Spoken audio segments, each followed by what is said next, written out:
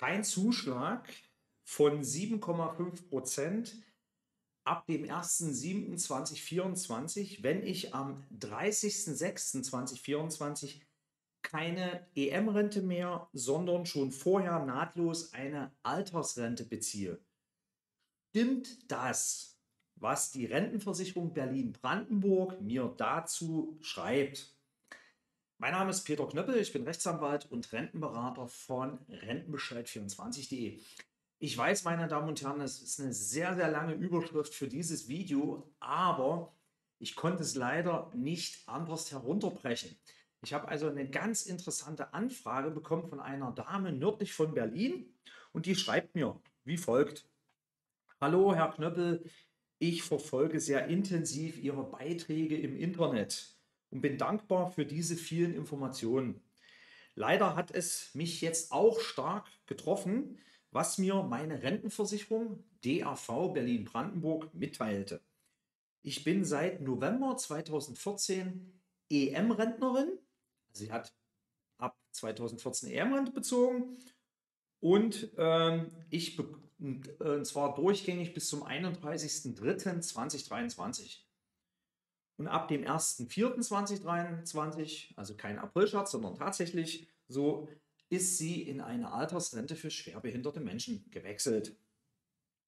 Und hat natürlich gedacht, alles klar, wenn das so ist, dann profitiere ich natürlich auch von den Regelungen, die ab dem 1.7.2024 äh, für die Bestands-EM-Rentner gelten sollen, also diese pauschalisierte Zuschlagsregelung bis 7,5 Prozent. Unsere Kundin, Mandantin, hat bei der DAV Berlin-Brandenburg eine Anfrage gestartet und hat dann dementsprechend ein Schreiben bekommen, von dem ich ein wenig vom Inhalt her sprachlos bin. Und das zeige ich Ihnen jetzt mal, was die DAV Berlin-Brandenburg da so alles Nettes geschrieben hat. Ja, also Sie sehen ein bisschen geschwärzt hier und ähm, hat man unserer Mandantin also mitgeteilt, dass die ähm, Gesetzesänderung für die EM-Bestandsrentner erst zum 1.7.2024 in Kraft tritt. Das sehen Sie hier, was ich hier so ein bisschen einkreise. Voraussetzung für die Berücksichtigung von Zuschlägen ab dem 1.7.2024 ist, dass am 30.06.2024 ein Anspruch auf eine EM-Rente bestand. Das schreibt die Deutsche Rentenversicherung Berlin-Brandenburg und sagt gleichzeitig, sie, bezie sie beziehen seit dem 1.4.23 eine Altersrente. Der Anspruch auf eine Rente wegen Erwerbsminderung ist somit entfallen, sodass für Sie keine Zuschläge ab dem 1.7.2024 zu berechnen sind. Ja, Sie merken schon, ähm, ich habe eine kleine Pause eingelegt, das war aber keine Kunstpause, sondern ich musste leicht räuspern, denn als ich das gelesen habe, da habe ich mir gedacht, mein lieber Mann, liebe Deutsche Rentenversicherung Berlin-Brandenburg, äh, was ihr hier geschrieben habt, das ist ganz starker Tobak. Und ich werde Ihnen das jetzt mal zeigen, wie die Gesetzeslage tatsächlich aussieht, denn die, Deu die Berlin, also die Deutsche Rentenversicherung Berlin-Brandenburg hat hier in der Tat kein Recht. Das ist also eine fehlerhafte Auskunft, die hier gegeben worden ist. Und zwar gibt es ab dem 1.7.2024 eine Neuregelung im SGB 6. Das ist der Paragraph 307i. Ich zeige Ihnen das mal hier oben. Ja, sehen Sie hier. Ähm, und der sagt uns hier unten äh, Zuschlag an persönlichen Entgeltpunkten bei Renten wegen Erwerbsminderung und Renten wegen Todes. Das ist diese Neuregelung, die die äh, große Ko oder die unsere Koalition beschlossen hat, um die Nachteile derer, die eine EM-Rente vor dem 01.01.2019 bezogen haben, äh, hier ein bisschen auszugleichen. Es geht um den Ausgleich wegen der verkürzten Zurechnungszeit gegenüber denjenigen, deren EM-Renten schon äh, am 01.01.2019 begonnen haben, die also von der längeren Zurechnungszeit profitieren. Und jetzt schauen wir uns einfach mal die Tatbestandsvoraussetzungen an. Was sagt denn uns eigentlich das Gesetz der 307i? Im Absatz 1 steht ganz klar drin, ein Zuschlag an persönlichen Entgeltpunkten wird ab dem 1. Juli 2024 berücksichtigt, wenn am 30. Juni ein Anspruch bestand, entweder auf eine Rente wegen Erwerbsminderung, die jeweils nach dem 31. Dezember 2000 oder vor dem 1. Januar 2019 begonnen hat. Das sind also die Leute, die am 30.06. nächsten Jahres immer noch eine EM-Rente haben und die genau in diesem Zeitraum 31. Dezember 2000 bis vor dem Januar 2019 äh, begonnen hat. Oder gucken wir in Ziffer 3 mal rein. Jetzt staunen Sie.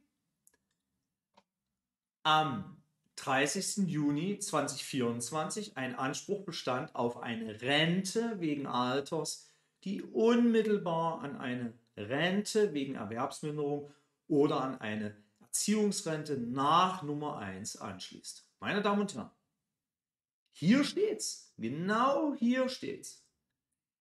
Die Rechtsauffassung der deutschen Rentenversicherung Berlin-Brandenburg ist definitiv falsch.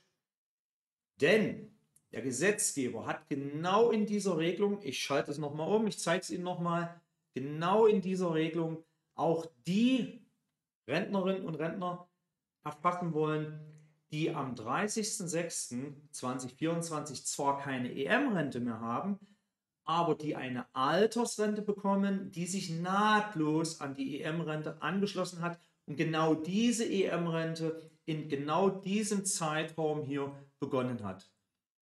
Und wie eingangs erwähnt, hatte ich Ihnen das ja gesagt, hat die EM-Rente unserer Mandantin äh, im November 2014 begonnen. Und sie hat jetzt am 1.4.2023 eine Altersrente. Und deshalb hat sie genau nach dieser Vorschrift, ich zeige es nochmal, Paragraph 307 Absatz 1 Ziffer 3, Anspruch auf diesen Zuschlag.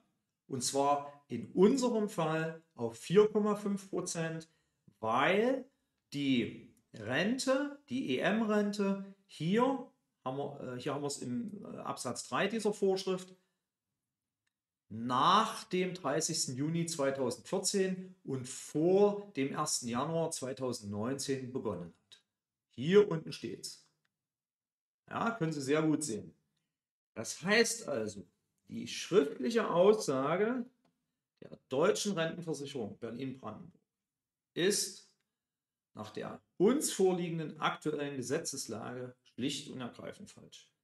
Wir haben unserer Mandantin geraten, das nochmals ihrer Rentenversicherung zu sagen und ihr auch klipp und klar zu sagen, dass die Auskunft falsch ist und wir haben auch den Gesetzestext ihr übermittelt und sie soll bitte den Gesetzestext der deutschen Rentenversicherung Berlin-Brandenburg äh, übersenden. Aber auch noch eines vorab zu erwähnen, unsere Mandantin hat selbstverständlich jetzt noch nicht den Anspruch. Der Anspruch beginnt erst am 1.7.2024.